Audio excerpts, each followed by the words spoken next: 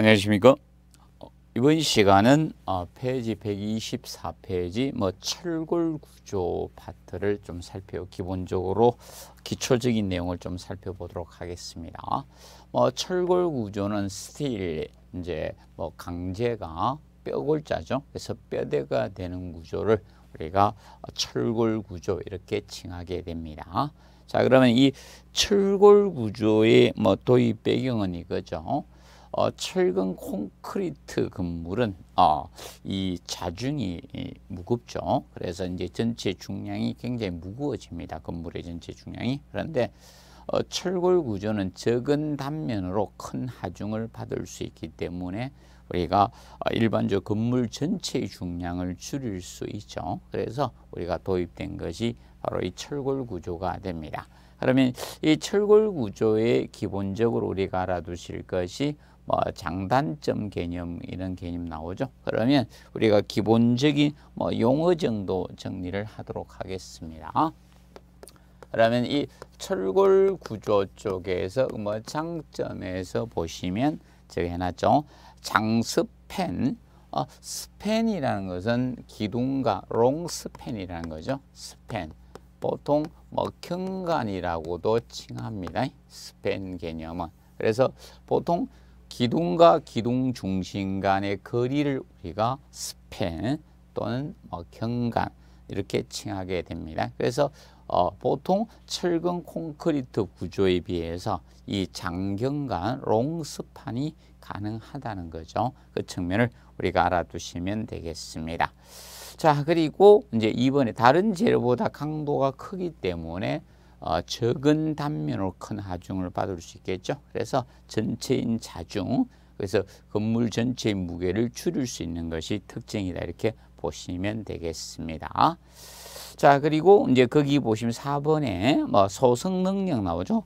자, 그래서 이제 재료의 평형 성질 관련해서 125페이지에서 용어를 보도록 하겠습니다. 참고 보시면 탄성 개념이 나옵니다.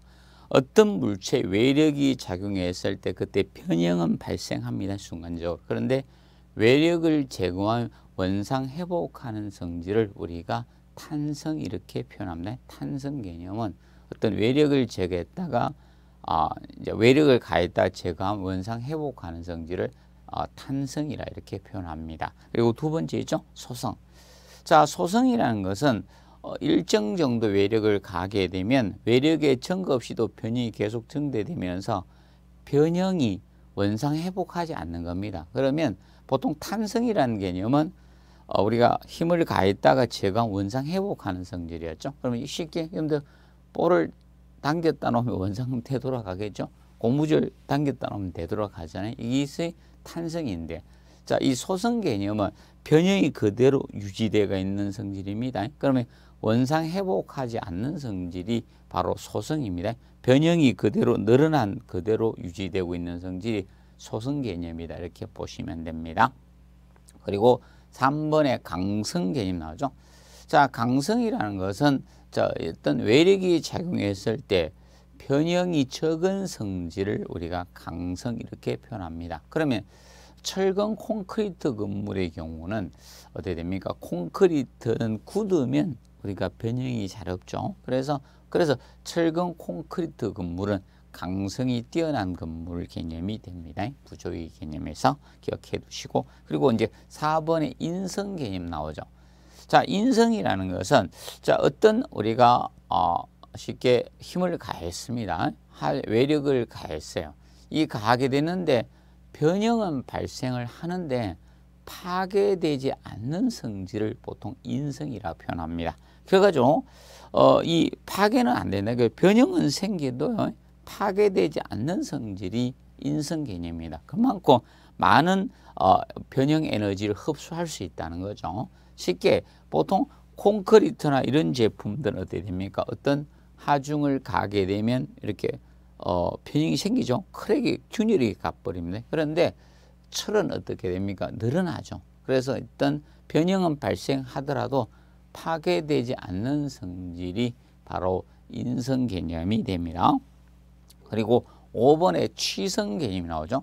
자, 취성은 변형하려고 하면 파괴되기 쉬운 성질을 치성이라고 해요.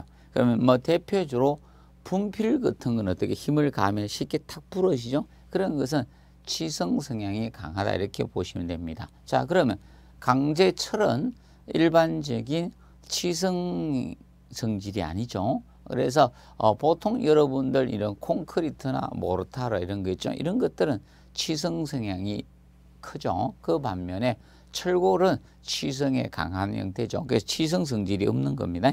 자, 그래서 보통 일반적인 뭐 성질에서 하나만 추가적으로 더 해드리면 연성.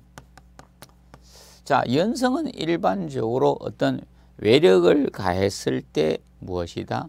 이제 힘을 가하게 하면 이 늘어나는 성질이 어, 연성 개념이다 이렇게 보시면 되죠. 그러면 쉽게 어, 온열에 자기 더울 때 엿가락은 이렇게 쭉 늘어나죠. 그런 거 이, 얇게 있죠. 그래서 이제 연성은 늘어나는 성질을 우리가 연성 이렇게 표현합니다. 그래서 기본적으로 어, 용어상 우리가 좀 정리를 해 두시기 바랍니다. 그래서 어, 124페이지 보시면 5번에 자 인성이 크죠. 철골은 인성이 큽니다. 자, 그래서 이제 늘은 어, 보통 어, 변형은 우리가 발생돼도 파괴되지 않죠. 그래서 인성이 큰 것이 특징이다 이겁니다. 그러면 철골은 연성도 좋겠죠. 연성도 좋고 인성도 큽니다. 그리고 소성에 대한 변형에도 큰 것이 특징인 것이 철골 구조입니다. 자, 그런데 보통 일반 상문에서는 우리가 어, 이 철골 구조는 치성 성향이 없죠. 자, 그런데 극조원이면 우리가 치성 성향을 띠게 됩니다. 그래서 뭐 대표적으로 우리가 저걸 보시면 됩니다. LNG 운반선. 자, LNG는 우리가 일반적으로 어, 액화천연가스죠. 그래서 메탄이 주 성분이다 보니까 일반 액화석유가스의 경우는 어 이제 일반 액화 천연가스 LNG죠. 얘는 마이너스 막 162도씨 액화를 시킵니다. 그렇기 때문에 그런 극초온에서는 일반 철은 어, 취성 성향을 탁 부러집니다. 그런데 어, 우리가 LNG 운반 이런 경우 할 때는 어, 일반적으로 치성에 강한 우리가 일반적으로 어, 이제 적을 써야 되겠죠. 철을 써야 됩니다. 그래서 이제 특수광을 쓸 수밖에 없는 것이죠. 그렇게 보시면 됩니다. 자, 그리고 공사기간. 자, 공사기간은 우리가 공사를 착수해서 완료될 때의 그 기간이 공사기간인데, 그래서, 어, 공사기간을 앞으로 이렇게 쓰는 경우 있다. 공기. 공사기간을 공기라 이렇게 우리가 표현하는 경우가 많습니다. 그래서 공사기간 단축, 그래서 줄여서 뭐 공기 단축 이렇게 표현하는 경우 있다. 공사기간을 공기라 이렇게 표현할 수 있다. 그러면 철골 구조는 빨리 집을 지을 수 있죠. 그래서 공사 기간이 짧은 것이 특징이 됩니다. 그리고 시공의 정밀도가 높죠. 자, 그런데 이제 단점에서 내화성. 자, 내화성은 하재가 바풀이죠. 하재 견딜 수 있는 성질을 내화성 이렇게 표현합니다. 그래서 내화성이 떨어지죠. 그래서 이제 보통 철은 보통 900도씨 이상이 되면 강도가 제로 상태가 됩니다. 그렇기 때문에 내화성이 떨어지죠. 그리고 내구성. 자, 내구성 원래 품질 그대로 자, 변형이나 변질 없이 오랫동안 견딜 수 있는 성질을 내구성이라 해요. 쉽게 수명 긴 거. 이것이 내구성적인 측면이 됩니다. 자, 그래서 어, 보통 철은 녹슬죠. 원래 품질 그대로 아니죠. 녹슬기 쉽기 때문에 내구성은 일반적으로 떨어진다 이렇게 보시면 됩니다. 그래서 보통 이제 내하 어, 어, 내식 피복을 하는 거죠. 그래서 피복을 해줌으로써 철골 구조를 내하 내구적으로 만들어 주는 겁니다. 그러면 그 철골 그 자체만 가지고는 내하 내구성은 떨어진다는 겁니다. 그래서 이 단점을 보완하기 위해서 보통 어, 농막이 도장을 한다든지 또는 이제 대하 피복 개념을 우리가 하게 되는 겁니다. 그 점을 우리가 알아두시고 그리고 이제 3번에 접합점에서 이제 일치하기가 어렵죠. 자, 보통 얘는 어, 보통 리벳이나 뭐볼 일반 볼트나 고력 볼트 또는 용접 이런 거 가지고 접합을 할 수밖에 없죠. 그런데 여기에서 어, 일반적인 용접만 어, 접합부의 일치화를 할 수 있죠. 그래서 그런 어, 접합부 일치화가 어렵다는 겁니다. 그리고 125페이지 상단에 보시면 자 부재가 세 장, 세 가늘 어, 단면에 의해서 가늘고 길다는 거죠. 세 장. 그래서 이제 가늘고 길기 때문에 자굴에 대한 고려가 필요합니다. 자, 자굴 개념은 이거죠. 자, 이런 힘이 작용되면 이런 수직재들은 이렇게 굴절되는 현상을 우리가 생기겠죠. 이 현상을 우리가 자, 자굴이라고 표현합니다. 그래서 이제 자굴이 발생하기 쉽기 때문에 자굴에 대한 고려가 필요하게 됩니다. 그 점을 우리가 알아두시면 되겠습니다. 어, 그런 개념 보시고, 그 다음에 이제, 어, 기본적으로 이제 조금 정리해 두실 것이, 자, 126페이지. 자, 일반적인, 자, 강관. 어, 강간이라는 것은 파이프형 구조를 강간이라게 이런 형태로 생긴가. 그래서 어, 강간 개념이 사용된 것은 굉장히 큰 공간. 뭐 우리 주변에서 강간 구조로 지어진 것들이 대표적으로 KTX 역사들이 많이 강간 구조로 지어지게 됩니다. 그래서 이 강간은 파이프형 구조를 강간이라게 파이프형 파이프형 이런 형태를 우리가 강간 이렇게 표현합니다. 그래서 여러분들이 여기에서는 간의 재료가 아닌 자 그래서 이제 골조를 세울 때 이런 H 형광이라는 것이 아닌 둥근 이런 어, 폐쇄형 단면에 파이프형 우리가 그것을 강간 이렇게 표현을 하고 있습니다. 자 그리고 4번에 보면 형광이 나오죠. 형광. 자 형광이라는 것은 보통 여러 가지 어, 단면 형상을 여러 가지 이런 단면 형상 단면 형상을 우리가 어, 가지는 아변강제입니다. 가지는 아변강제를 총칭해서 아변강제를 어, 총칭해서 형강이라 이렇게 부르게 됩니다. 형강. 그래서 형상을 가지는 강제죠. 그래서 형강이라 이렇게 표현합니다. 그래서 그 단면 형상 개념이 바로 어 이제 H 그래서 어 뭐 I 뭐 이런 여러 종이죠. 뭐 I 알파벳 형상 I처럼 생긴 I 형광, H자처럼 생기면 H 형광 이런 여러 가지 뭐 디귿 형광도 있을 수 있는 거고 Z 형광 이렇게 생기죠. 이런 여러 가지 단면 형상을 가지는 강제를 총칭해서 형광이란 용어를 쓰고 있습니다. 간략히 알아두시면 되겠습니다. 그래서 이제 기본적으로 어, 이런 어, 기본 용어 정도는 좀 정리를 먼저 해 두시기 바랍니다.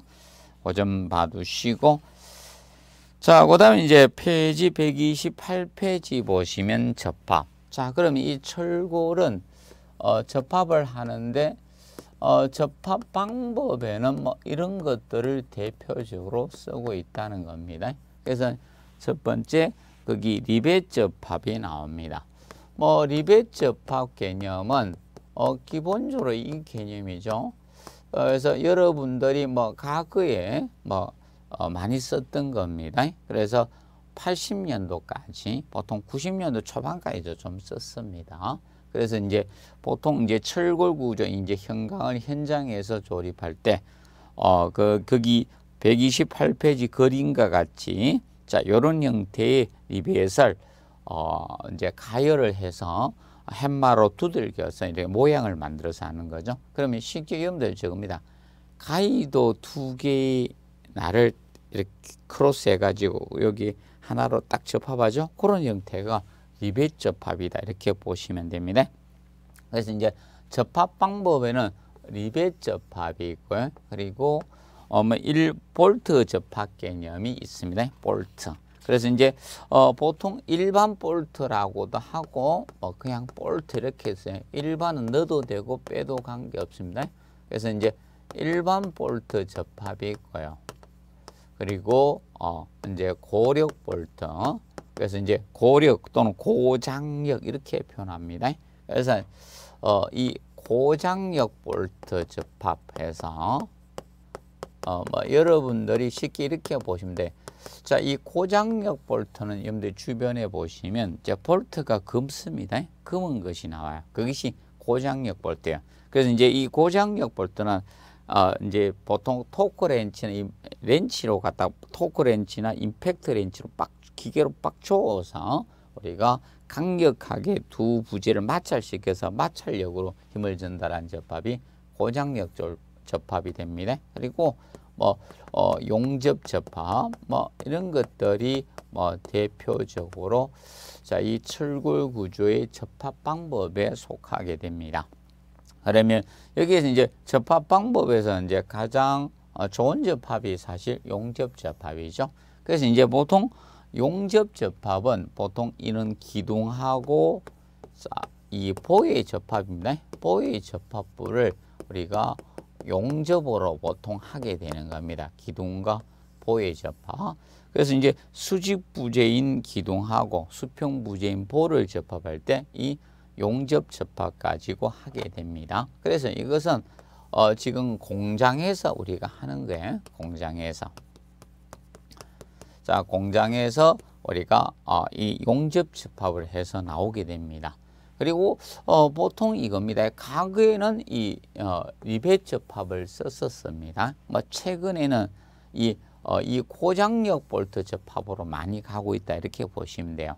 과거에 이 리벳 접합을 우리가 했던 부분을 고장력 볼트 이렇게 가고 있다 이렇게 보시면 돼요. 그러면 이 어, 고장력 볼트 접합은 보통 어, 보통 기둥과 기둥 부분, 기둥과 기둥의 이런 접합이라든지 아니면 보아 보아의 접합입니다. 보하고 보, 보의 접합부에 우리가 이 고장력 볼트를 어, 접합합니다. 그래서 이거는 현장에서 하는 거예요. 이것은 현장에서 현장에서 이제 체결해서 우리가 하게 됩니다. 이런 형태로 접합을 하고 있습니다. 그러면 일반 볼트 접합은 너트 풀림이 생기니까 이것은 아무데나 할 수는 없습니다. 그래서 이거는 뭐 가슬 건축물 같은 데 이런 데 하는 게 가슬 건축물이나 아니면 뭐 가조임 가조임 본조임에 앞서서 이제 구멍 맞는 거안 맞는 거 체결 맞는 그걸 하는 형태죠. 그래서 우리도 옷도 어 이제 양복 맞추러 가면 가봉한다 하죠. 그래서 그 개념이 가조임이라 이렇게 보시면 되죠. 그래서 어, 여기서 일반적으로 이렇게 되는데 그래서 이제 가설 건축물, 건축물은 두 가지 개념이 있습니다. 어, 영구 건축물이 있고 가설 건축물이 있는데 영구 건물은 어, 여러분이 존치 기간이 뭐 안 되죠 수명 다 할 때까지 존치하는 게 영구 건축물이죠. 그러면 가설 건축물은 존치 기간이 있는 건축물이 바로 가설 건축물 개념이 되는 겁니다. 그러면 이런 대표적으로 모델하우스 이런 게 있죠. 그런 것이 가설 건축물이죠. 이런 데는 쓸 수 있죠. 그런데 왜냐하면 이 볼트 접합은 너트 풀림이 생길 수 있기 때문에 주요 구조 부분에는 힘을 받는데 이런 데서 사용해서는 안 됩니다. 무한적으로 반복 하중이나 이런 진동이 생기는 데는 볼트 접합을 쓸 수가 없습니다. 그래서 이렇게 보시면 돼요. 그래서 여러분들이 기본적으로 현재 이 두 가지로 많이 해요. 이걸로 많이 하고요. 건물 지을 때.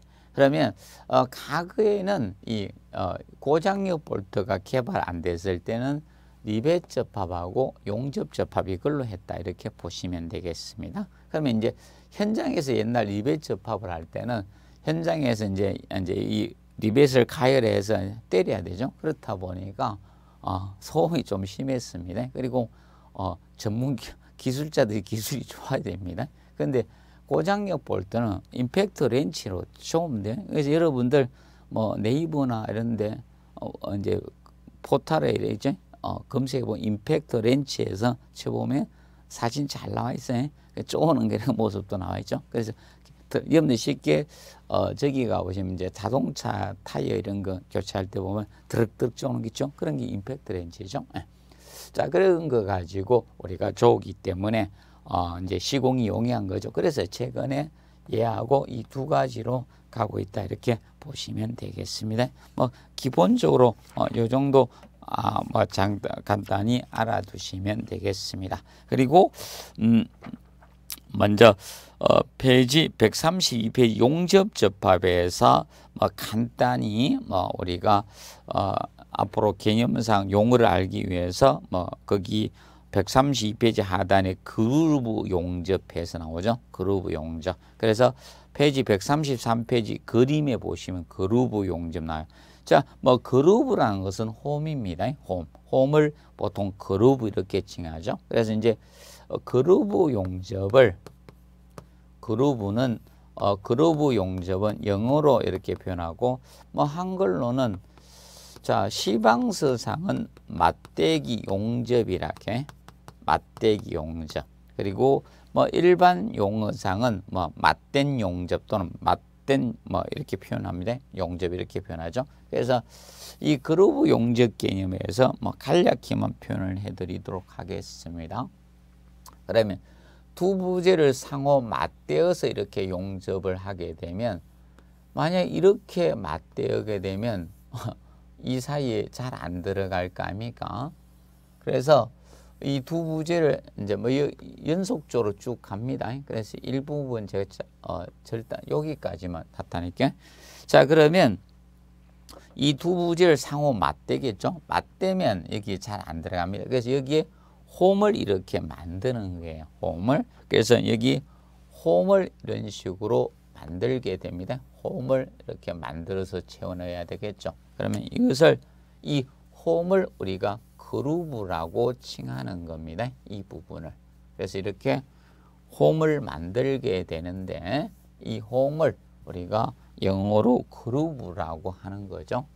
이것을 영어로 그루브고 보통 뭐 홈, 우리나라 말로 또는 한번 개선, 개선 앞벌림이라고 하죠. 앞벌림 이렇게 칭하는 거예요. 앞벌림.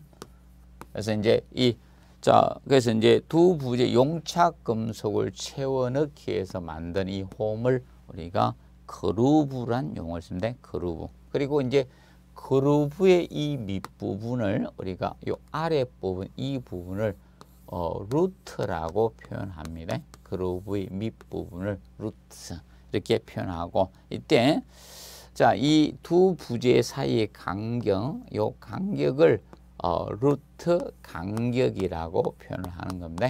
루트 간격이라고 표현을 합니다. 루트 간격.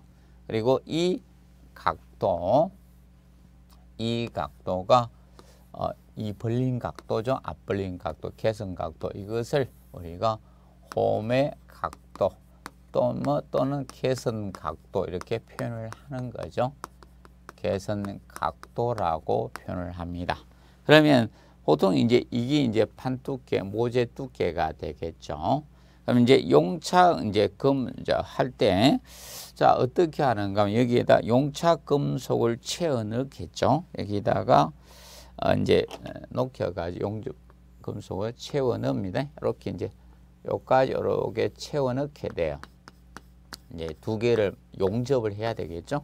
용착 금속을 여기서 채워 넣게 되는데 이때 여기에서 요까지 두께를 유효 목두께 이렇게 표현합니다. 이것을 유효 목두께다 이렇게 표현을 하는 겁니다. 이것이 유효 목두께 이렇게 표현을 합니다. 자 그러면 여기에서 어, 그럼 이제 용착 금속을 이렇게 채워 넣기 위해서 자, 이 그럼 여기 용착 금속이 흘러내리겠죠? 용락을 우리가 할 수 있겠죠? 그래서 밑에 부분에 받쳐줘야 됩니다. 그래서 어, 용착 금속의 용락을 방지하기 위해서 밑에 되어주는 어, 판을 세티 설치하죠. 이것을 우리가 뒷댐제라는 용어를 써요. 뒷댐제 이렇게 이렇게 표현합니다. 뒷댐제에서 간단하게 우리가 알아두시면 되겠습니다. 옳은 정도 우리가 간략히 알아두시고요. 그리고 135페이지 그 용어 정리가 나와요. 용어 정리. 그래서 이제 6번에 보시면 그룹 해놨죠. 용접하는 두 부재 용착 금속을 채워 넣는 이 홈을 우리가 groove란 용어를 쓰고 있습니다. 자, 그리고 거기 보시면 자, 1번 end tab이라고 나오죠. end tab. 용접시 임시로 대어서 용착 금속이 채워지는 보조재 해놨죠. 자, end tab 개념은 바로 이겁니다. 요거 뒷댐재하고는 다릅니다. 이거 용접, 용락을 방지하기 위해서 이제 우리가 root 이 밑부분에 대어주는 것이 뒷댐재고 그러면 어, 이 end tab의 경우는 여기에서 여기까지 내가 용접을 하겠다는 거예요. 두 부재성을 맞대었을 때 여기서 이까지가 용접 길이가 되겠죠. 여기에서 용접 길이가 되는 겁니다. 자 그러면 이제 요 사이에다 용착 금속을 채워 넣게 되면 이 끝부분이 이렇게 오목하게 어, 이렇게 패이는 결함이 자꾸 생겨 흘러내려 가지고 여기 분화구처럼 이런 홈이 발생합니다. 이걸 방지하기 위해서 용접의 여기가 시작점이다. 여기가 시작점이면 용접의 시작점이면 여기가 용접의 종료점이죠. 종료점에 어, 종료점. 그래서 여기에 대어주는 우리가 어, 보조 강판입니다. 보조점 여기하고 여기에 설치해 주는 거예요. 양쪽의 시작점과 종료점에서 용접 결함을 방지하기 위해서 이걸 어, end tab이라 이렇게 표현을 하게 됩니다. end tab. 자, 그럼 end tab의 형태는 자 어떻게 자 생겼나요? 뭐 이런 형태라고 보시면 되겠습니다. 어, 뭐 입체적으로 뭐 조금 나타내 드리면 자 이제 두 이렇게 해서 용접을 이렇게 합니다. 이런 식이 되어 있겠죠. 자, 그러면 이렇게 쭉 가고 있습니다. 자, 그러면 여기 한, 한쪽만 한번 표현해 드리면 이런 형태로 처리를 여기 이제 어, 덧대어 준 겁니다. 이런 식으로 해서 그러면 자, 이렇게 되겠죠. 그래서 이런 식으로 어, 이제 보조입니다. 보조로 설치되는 게 이런 식으로 해서 그러면 어, 이 부분이 이렇게 설치가 된 겁니다. 이렇게 돼 있죠. 그러면 이런 식으로 해서 이제 여기하고 어, 여기하고 여기에 설치하는 거 이걸 end tab이라 이렇게 칭하게 됩니다. 음. 자 그리고 이제 거기 이제 2번의 spatter 용접 중 원래 spatter는 튀다 튀어나가다는 뜻입니다. 그러면 용접 중에 튀어나가는 뭐 슬래그나 금속 입자들 그래서 용접으로 탁탁 튀어나가죠. 그것을 우리가 spatter 이렇게 표현을 합니다. 그리고 자 scallop은 용접선의 교차를 피하기 위해서 우리가 어, 거기에죠 어, 한쪽 부지에 설치하는 홈을 우리가 스켈럽이라고 표현을 합니다.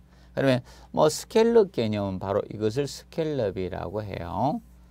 자 예를 들어서 지금 현재 이렇게 두 부재를 맞대어서 모서리 부분에 모살 용접을 우리가 펠렛 용접을 하게 됩니다. 자 그러면 지금 현재 이렇게 이 부분에 어, 용접을 하고 있다는 게 이렇게 해서 용접을 실시해 간다는 게 이렇게 해서 이렇게 해서 가는데 어 여기 다른 부재가 여기 또 오네요. 이런 식으로 해서 이런 다른 부재가 이렇게 오면 용접선이 교차가 되잖아요. 이 여기도 용접을 해야 되는데 이렇게 그러면 이 용접선의 교차를 방지하기 위해서 여기에다가 어, 이 부재에다가 이 홈을 만드는 게 쉽게 이 부재 이 부재 여기 이 부재에다가 이렇게 부재가 이렇게 있으면 여기 미리 홈을 이렇게 만들어 놓으면 이 용접선이 어떻게 되면 이렇게 쭉 갈 수 있겠죠 이게 용접이 이렇게 갈 수 있잖아요 이 밑속으로 그래서 이렇게 처리 이 설치한 이 홈입니다. 이 홈을 우리가 스켈럽이라 이렇게 표현한다는 거예요. scallop 이렇게 표현하고 있다. 간단히 알아두시면 되겠습니다. 그리고 이제 gouging은 금속판이나 면에 홈을 갖다가 참 파는 것을 gouging이라는 용어를 씁니다.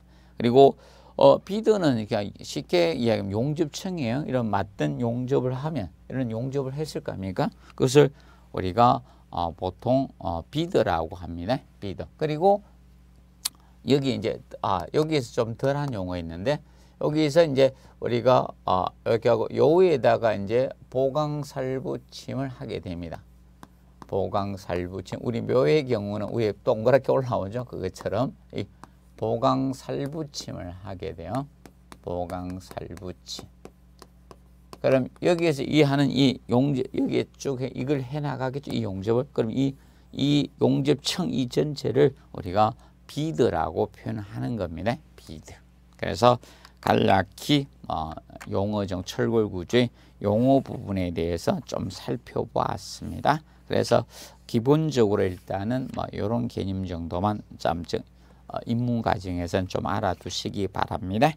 자 이번 시간은 여기까지 마무리하도록 하겠습니다. 뭐 다음 시간은 뭐 149페이지 조족조 파트를 살펴보도록 하겠습니다. 수고하셨습니다.